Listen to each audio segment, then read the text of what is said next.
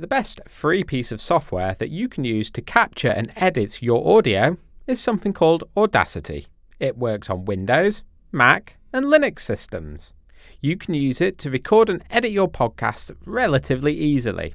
For example, it can improve the sound quality of your shows, remove background noise, and generally clean up your audio. So let's get started by grabbing Audacity over at audacityteam.org. Once open, check that the microphone selected is the one you want to use. For instance, you might have a built in mic in your computer, an external mic, or an audio input from a mixer or broadcasting desk. At first, you might sound a bit too loud or quiet, so it's best to check that the microphone volume levels are set correctly. Click the mic icon at the top bar. It should start moving forwards and backwards when you talk. Adjust your computer settings to get the volume level at around 8 when you're talking. Then, when you're ready to get started, simply click the red recording button. You can see from the waveform that our audio is now being captured. It gives us an indication on our volume level and how long we've been recording. Once you're happy with what you've got, you can finish by simply stopping the audio. And now that we've done that, we can sample the playback to check that it's okay. It should be fine, but you may need some post production editing to fix any abnormal noises like dips or hissing.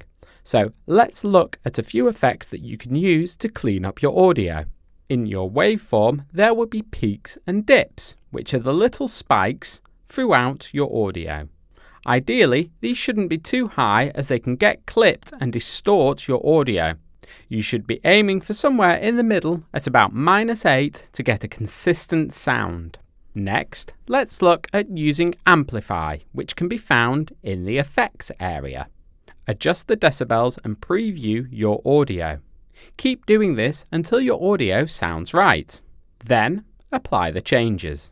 Your waveform should now be modified and you will be able to notice the difference in the peaks and the dips. You can also use the normalize effect to do something similar. It brings the gain of the entire track to its maximum without clipping the audio, essentially putting it on one level so it's more consistent. Now, you may also have dead air in your waveform. We can fix this using the Truncate Silence feature. This feature removes any dead air from your waveform from when you're not speaking, and it will give your podcast a much smoother flow. Adjust the detection level. Anything below this decibel will be deleted. The duration is what is considered dead air, so you can set this for a few seconds, for example. Set truncate to the duration you want, and the silence will be removed. If you want all dead air gone, then set it to zero. When done, check the audio sounds right. If not, then go back and adjust the settings a little until you have the right balance to drop your dead air.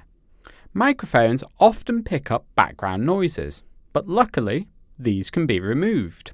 Select a small section of background noise, and then go to Noise Reduction. Adjust how much noise you want filtered out.